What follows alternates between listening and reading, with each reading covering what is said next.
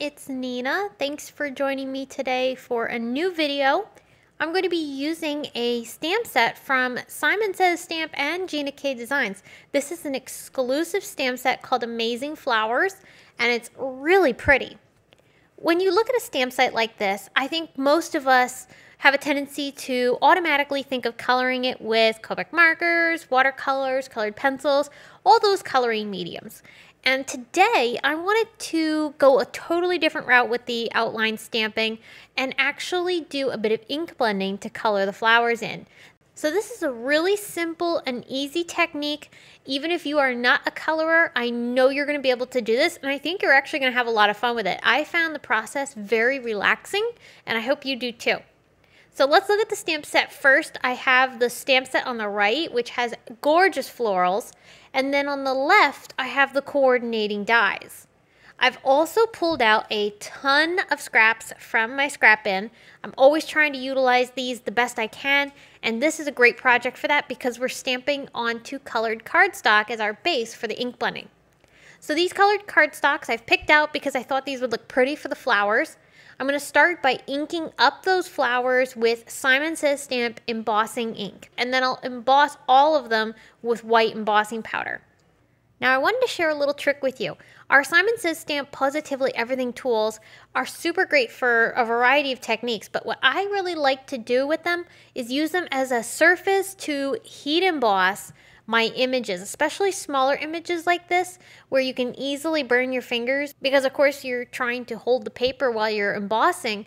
I find that if I rest the paper on the Positively Everything tool, it doesn't really move and it prevents me from having to burn my fingers, which is really nice.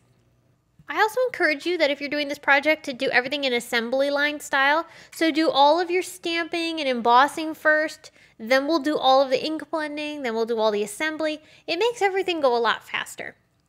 In addition to the colors, we also need, of course, to stamp some leaves. And I've picked out all the leaves from the stamp set and then I'm stamping them onto teal and two different shades of green cardstock that I thought would look really pretty with the rest of these images. Again, keeping that positively everything tool underneath is super helpful. This is a heat safe surface, so you're not gonna have to worry about it melting and it's also gonna protect the surface underneath that you're working on. So once we have all of our stamping done, it's time to do a bit of die cutting. So I'm gonna pull out the coordinating dies and some Easy C tape. I'm gonna use that to hold the dies in place as I run this through my die cut machine. Just like we did for the stamping, we're doing this in an assembly line style so that way we can keep the process moving and it's also going to be a lot more efficient. After all of my pieces are die cut, I'm going to pull out this new embossing folder from Simon Says Stamp called Exotic Vines.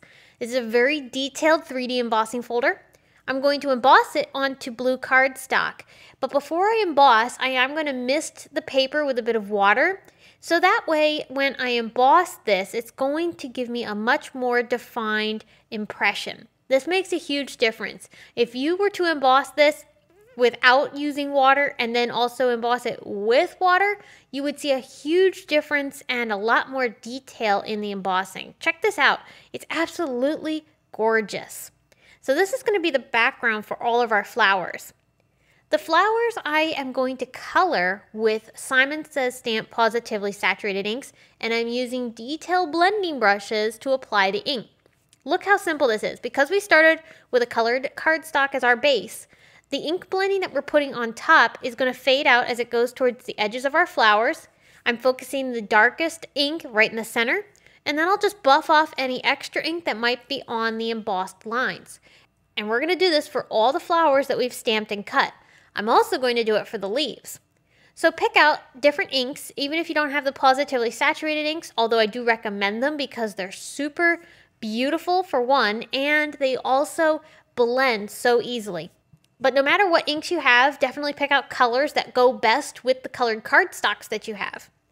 After I've gone ahead and done the flowers, then I'll do the leaves. I chose Ocean for my teal leaves, and then I picked out a couple of greens for the two different shades of green that I have. Again, you want to make sure you buff off any ink that's going to sit on top of the embossing.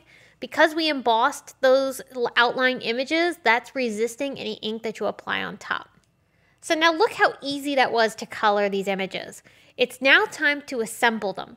I'm putting them onto my card panel here with foam tape. I wanted some dimension off of this background, but if you don't want to use foam tape and you want to keep it to a little bit more of a flatter card, just swap out the foam tape for some liquid adhesive. Once I have all of my images attached, I do want to trim this down so that way all of the flowers are even with the edges of the cardstock. I also want to make this slightly smaller than an A2 size panel.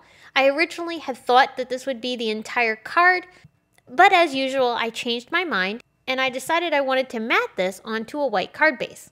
So I'm just going to trim this to be 4 by 5 and a quarter, and that's going to give me a nice border then around my card base.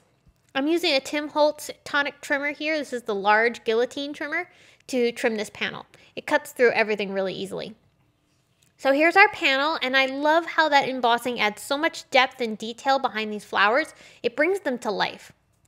Because I did emboss on this panel, I wanted something that I knew was going to hold really well because there's a lot less surface area because of the embossing that's going to come into complete contact with our card base. So I chose some redline tape for this. You don't have to use redline tape. You could use any adhesive you prefer. I just wanted to go this route. So I attached that directly onto my card base and then I'm going to start stamping my sentiments. The sentiments I chose are from the Amazing Flowers stamp set. I stamped the word thankful onto soft navy. Oscar is going to pass through here and inspect all the stamping to make sure it's good to go. After I've stamped it, I'm going to use white embossing powder to put on top of the ink and then set that with my heat tool. I don't have coordinating dies for the sentiments. The die set doesn't come with those, so I'm just going to use my fine tip scissors to fussy cut this out. And if you're somebody like me that has cats, you know that the crafting is a group activity. Oscar is trying to help off screen here. He's pushing some stuff into my screen as I'm working because he apparently thought I needed more blue cardstock. But I decided I wanted to stamp the rest of my sentiment with pink. So we're going pink for the secondary greeting that I'm going to put underneath the word thankful. I'm going to stamp that with some of the same ink that I used for the ink blending on the flowers. That happens to be Sweets from Simon Says Stamp. And if you are interested in any of the ink colors that I used or the cardstocks, check out the video description or the blog because I do have all the products linked there for you to reference. So be sure to check that out.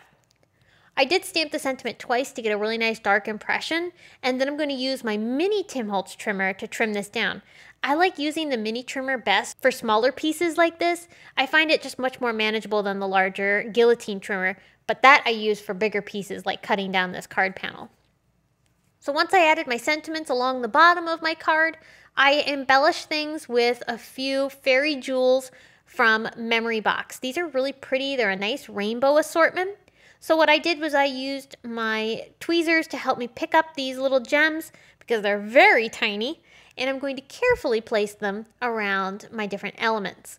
I did add a few dark blue ones in the background just to help tie that up, and I love how this card turned out.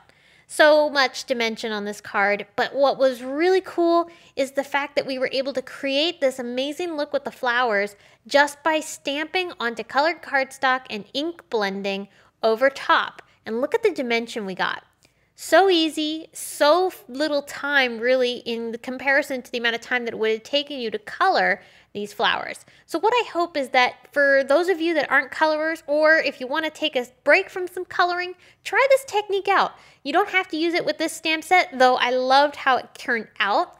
If you have other outline images like this, totally try this and see what you think. I think you'll have a lot of fun creating this effect and it's going to provide you a new look for your stamped images, especially those outline images. Well, friends, thank you so much for tuning in today. I hope this was an inspiring project and that you enjoyed. Don't forget to subscribe to our channel for additional inspiration, and I will see you all very soon with more to share. But until next time, I hope you all have a very wonderful day. Bye!